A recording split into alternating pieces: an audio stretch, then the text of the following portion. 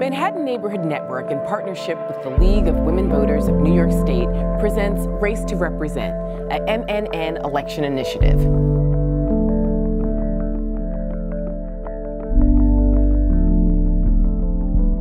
Hello, I'm Dr. Christina Greer, and this is Race to Represent. Today, we're going to bring you an interview with New York State Assembly member Inez Dickens. The New York State Assembly is the lower house of the New York State Legislature.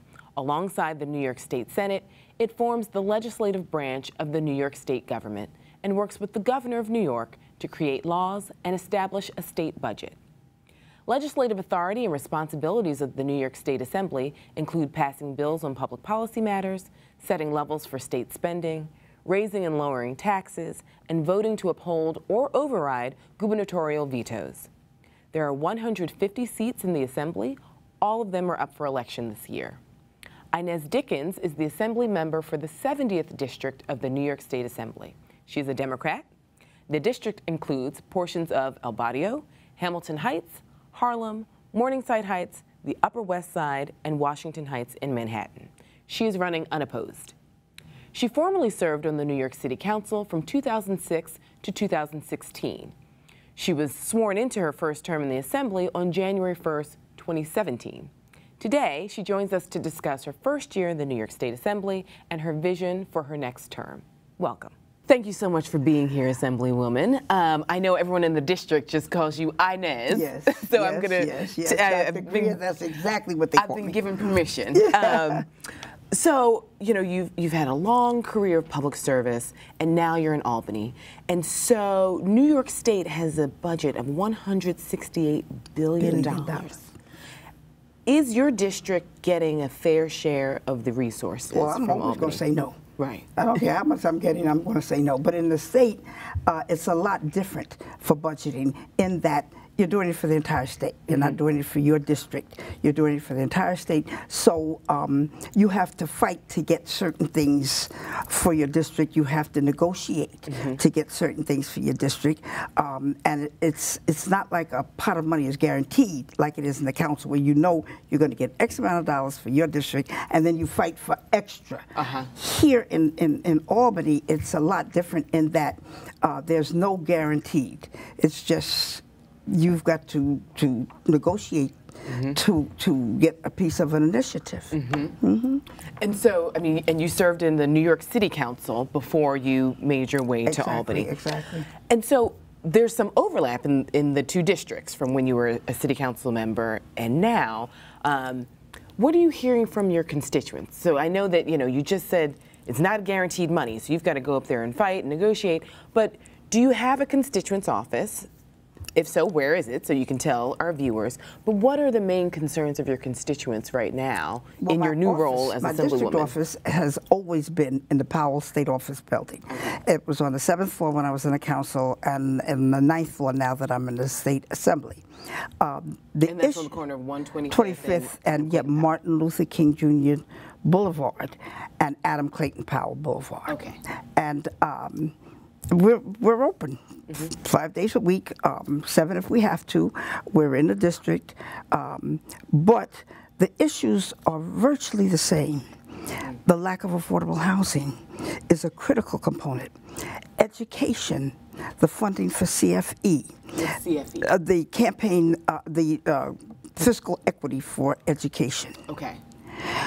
The gardens, the community gardens, um, which were city-owned parcels that the community took over and started planting fresh vegetables frequently.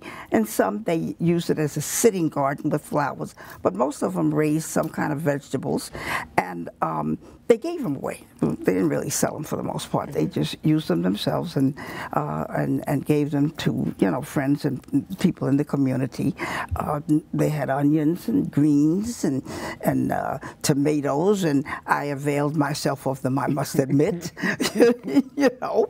But um, that's a concern. Uh, the education, the housing, the the and immigration uh, has become very important because of what the national government, the federal government, is doing um, f- against immigrants.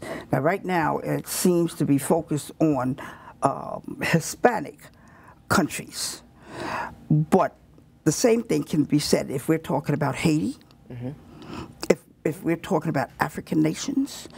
It's just that they haven't got to that yet.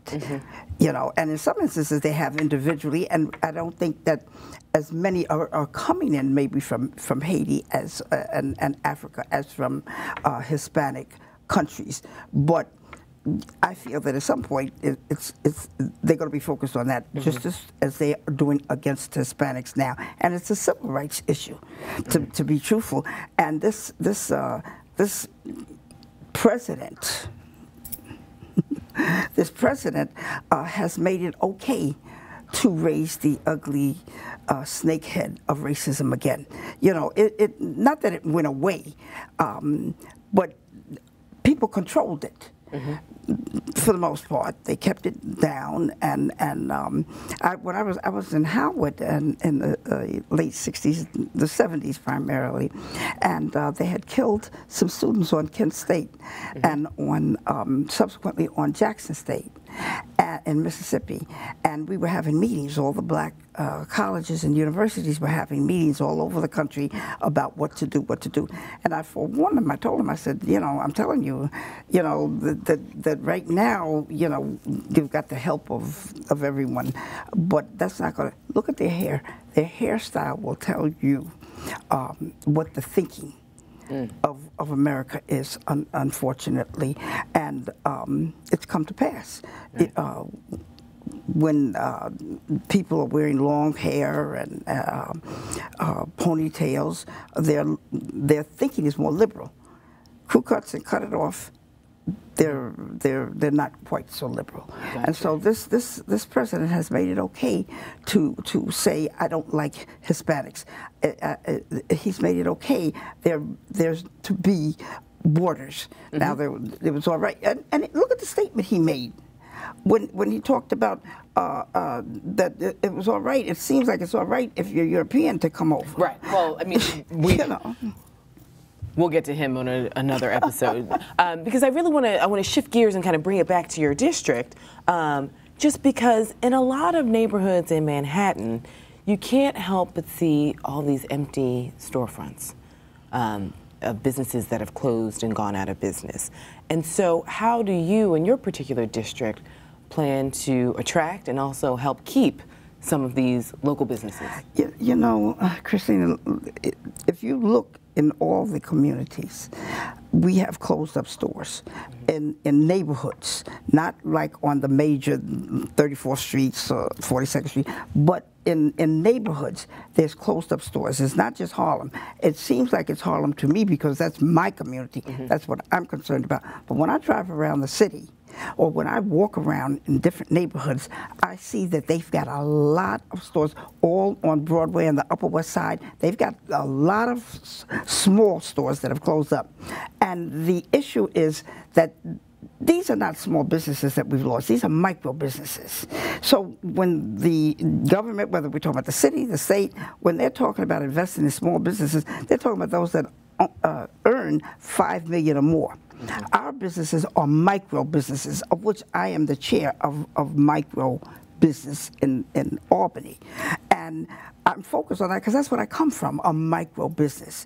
And we have not uh, really focused on those businesses uh, to raise the capacity so that they can become a small business. Right now, uh, the governor has raised the, the, the cap so that uh, there's 30% is, is to come from all of the state agencies must uh, take contracts from small business. Again, that's small business. That's MWBE. I'm talking about MBEs, minority businesses. And they are the ones that are the micro. And we don't have anybody giving any caps and helping the micro businesses. Now, I can talk about small businesses as well, but I'm the chair of the micro business. And that's the concern because that's what's in my community. And that's what it is. Most of the neighborhood stores are the micro businesses that are not earning $5 million a Right. year. And so, how do you how do you propose to assist them so that they don't go out of business? Well, first of all, we need to start concentrating on how do we raise uh, the, the, so that they can uh, be enabled to qualify. The other thing is we need to divide the contracts so that contracts are smaller. So the contracts are not uh, uh, uh, $10 million, but, but small contracts like HPD had done in the city at one point, where they had small contracts for, for $10,000 that, that you, could, you could work with and still survive because it takes a long time for the, for, for the governments to pay. Mm -hmm. So you've got to, you know, you mm -hmm. got to do the work and then you got to wait a long time to get right. your money. In fact, I know of, of several businesses that have waited so long they went out of business. So we're, and we're talking about micro business again. We're not talking about small business. And so I propose that we need to uh, look at how do we invest in the, in the small micro business, not just the small, but the really small. Right, the really small. Yes. And, so the, and that segues to something you brought up earlier, which is affordable housing, and yeah. so the concerns that a lot of people in your district have. What are you doing in Albany to sort of address some of those concerns and those issues? From There's a lot of issues with affordability. Um, in the city council, you have more to do with the actual percentage of the AMI, the area median income, and with how many, the percentage of how many units will be affordable. That's a negotiating tool that you have in the city council. In the, in the state, the state does more investment into uh, the development, like A. Philip Randolph at 114th Street.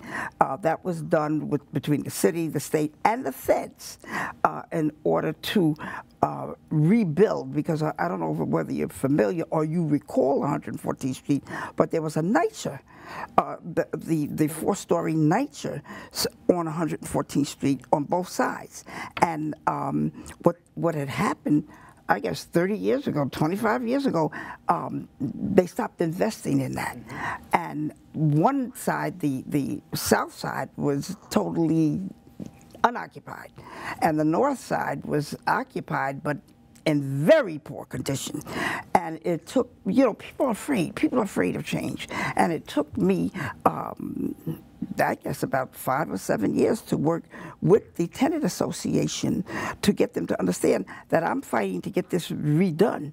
And I got the feds to come in, I got the state to come in, and the city to put in uh, on, with uh, West Harlem Group Assistance, that's Donald Notice, and to which is a, a, a black uh, not-for-profit, to reconstruct one side and and and and move the people back in. They would not mm-hmm. lose, mm-hmm. you know, their their apartments, and they're af- they were afraid they were going to lose them. Right. Because now we've seen, unfortunately, yes, because that has happened. Past, that has we've happened. moved people out of the community and you know, they are not welcome back in. When they before when you built affordable housing, you had to uh, say 10 percent, 20 percent. You had to do affordable, and what they did, they put it affordable someplace else. So they built in Harlem, and maybe you had to move to Brooklyn or the Bronx or the East Side or the Washington Heights, but you did not have to put the affordable units in the community right in which they were building, and that is, has been one component that has changed. You now have to put affordable units in the community. If you're building in the community, then those apartments have to be in the building that you're building. So at, at, at A. Philip Randolph, for instance, um, we, we got it done. So we, we reconstructed the north side and moved everybody back over to the north side. They weren't in the same apartment, they were in the north side. And they're, the, apartments are beautiful and they're very happy. And now we have started construction on the the the north uh, the north side. They moved to the south side. Where they're on the north side and um, building those units now. Okay. Um, but they had been, you know, completely empty. Right. I mean, it, it, it, can you imagine an entire block where on, on one side Nothing. there are buildings, but none can be occupied. They're in bad condition. And this is NYCHA. Right. Well, um, I'm going to shift gears a bit just because You've mentioned affordable housing is definitely an area of concern, but you've also been very vocal about bail reform. Um, yes. And so, what are some of the primary changes you want to see coming out of Albany surrounding bail reform? Well, there's, there's a couple of things that encompass um, bail reform, and one of the things um, is because New York State doesn't have expungement.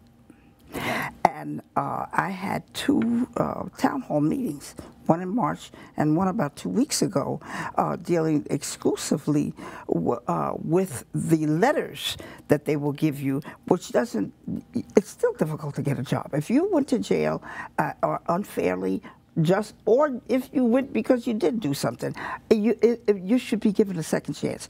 Um, the bail reform that we did in in in Albany um, will allow us because it was up to the discretion of the judge. So you could have uh, been caught with marijuana, and you got hit with a huge bail that your family could not mm -hmm. afford to do. Now that has been changed so that there's some parameters set on this so that it's, well, not with marijuana because now we're getting ready to, to legalize, I believe, uh, cannabis.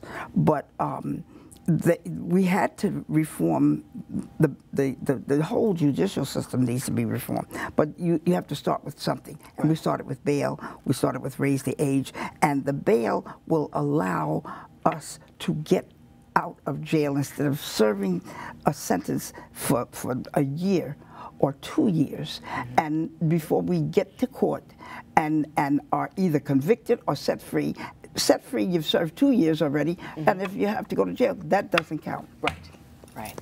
And it's it's disproportionately targeted to disproportionately some... mass incarceration in, in, in communities of color.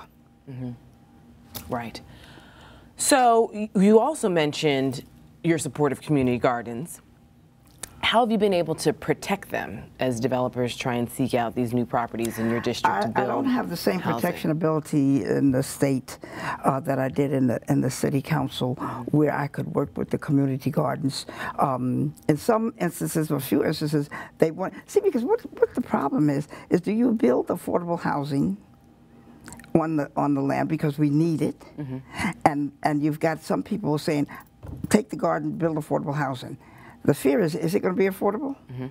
Or are they going to be? For whom? Yeah, exactly. it might be affordable exactly. for someone making six exactly. figures, but not and so, everyone else. You know, or can, shouldn't we have some greenery, even though this is an urban area? Mm -hmm. Should not we have um, some greenery. Should not our kids be taught how do you raise different vegetables? Mm -hmm. um, because it, it, they could be scientists that may develop a system right. at some point. So, uh, you know, it, it becomes a, a, a fight within the community. Mm -hmm. There are those who say, let's keep a community garden, some community gardens, and then there are those who say, I want affordable housing. Mm -hmm. And and for the elected, it becomes, oh my God, is it going to be affordable if it's built? Right. And, and I just happen to feel that we do need some community gardens, that they have to be maintained so that we have a place for the kids to go and play locally in their block. Right. We raise vegetables, they're given out,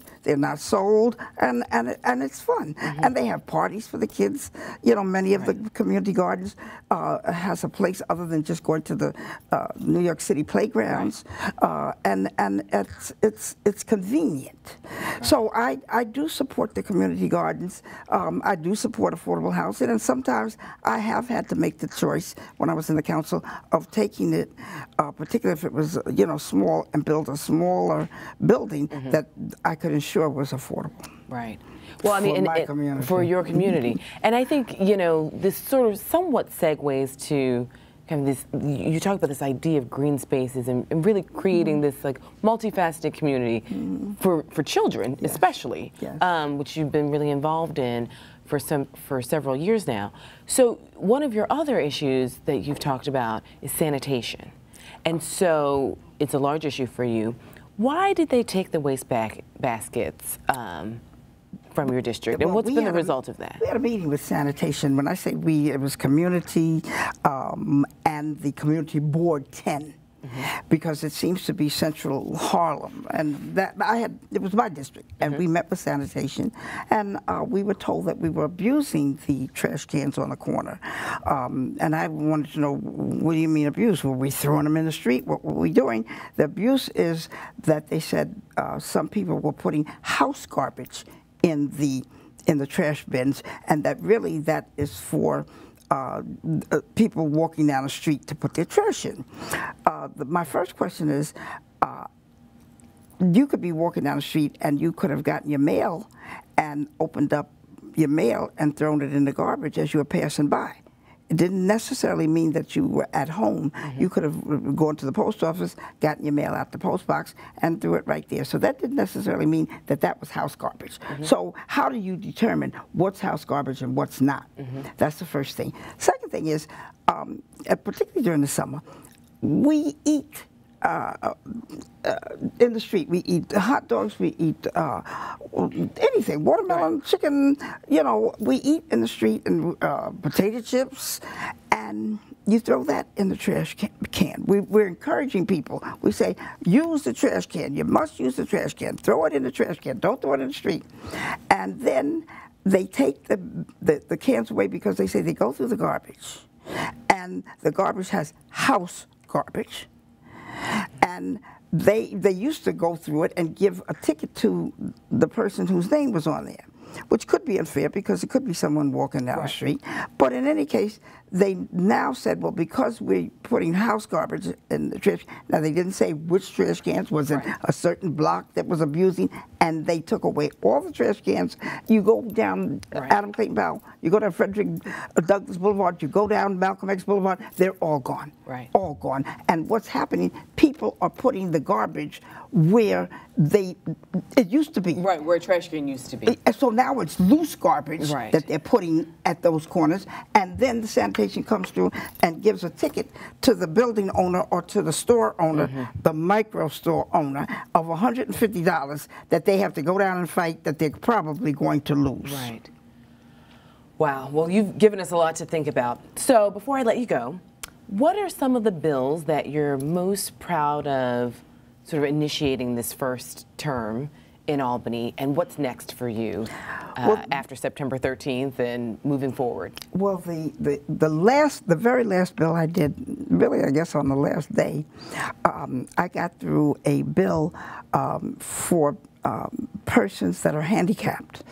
Um, I'm a member of 504, uh, which is a, a, a, a political club uh, whose members have various physical handicaps.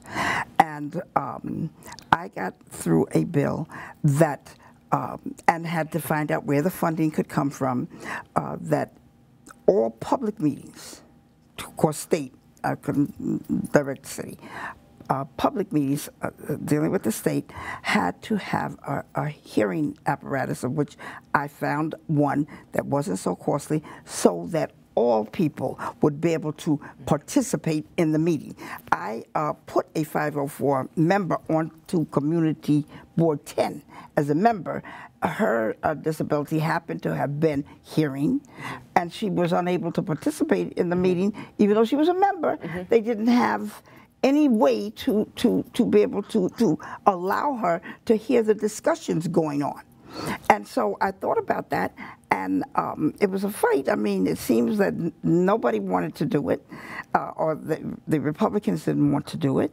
And um, I so I asked uh, the the the the uh, assembly member then, Morelle, would he allow me to talk to the Republicans myself? Let me do it. Let me talk to them. And he said, sure. And I went over there and talked to them. And when it came to the floor, every Republican except one voted for it. And that one came to me afterwards and said, has she truly understood that I had negotiated and found that there, because the state says that uh, um, that they help pay for the cost of things such as that, in that is, uh, they they get contracts and buy it in bulk, right. so it reduces the cost. And she said, had she really understood that, she she would have voted for it. So before I let you go, what's next then? That is that's a, a great well, accomplishment. I'm going to start con uh, concentrating on the micro businesses, and I intend to uh, try to start having meetings in other cities. You know, not just mm -hmm. in mm-hmm. New York, but throughout the state because, like I said, we deal with the whole state, Right. and and. Uh, see what we can do about micro business because whether we're talking about Syracuse or Buffalo, all have uh, MBEs, and and uh, they're all adversely affected by the fact that there has been no concerted legislation that is uh, that enhances or allows them to grow and get contracts. Their capacity is not growing. Wow. Well, thank you so much for Oh, taking some Christina, time. Thank you for having me. I had such a good time. Assemblywoman, I- good we, we could, we could we could literally talk about everything, Oh, starting yes. from Oh, Trump yes. all the way Oh, down. Um, oh, we could. but I just want to thank you, and I, I know our viewers really appreciate you Well, and no, your, thank your you so much, and thank you for the public service that you personally do, the the the issues that you have raised throughout the years by yourself and as as as a member of media, and the fact that you have uh, served as a beacon of truth. Mm, Thank you. Thank you. I appreciate it. Thank you. Thank you. Come back soon, please. Thank you. Okay.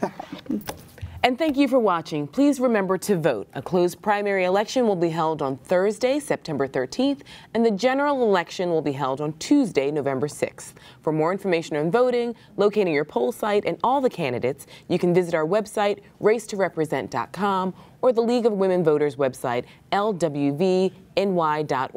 Thank you for watching Race to Represent on Manhattan Neighborhood Network. Bye bye.